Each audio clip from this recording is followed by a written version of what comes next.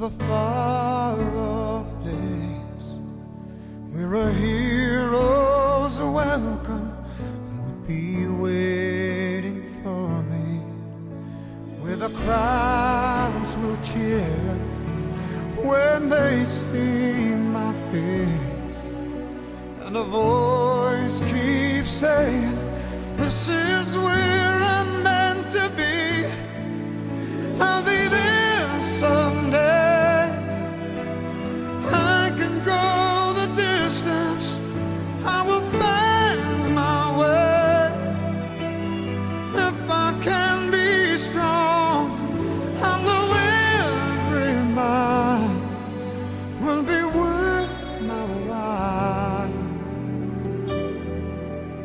when I go.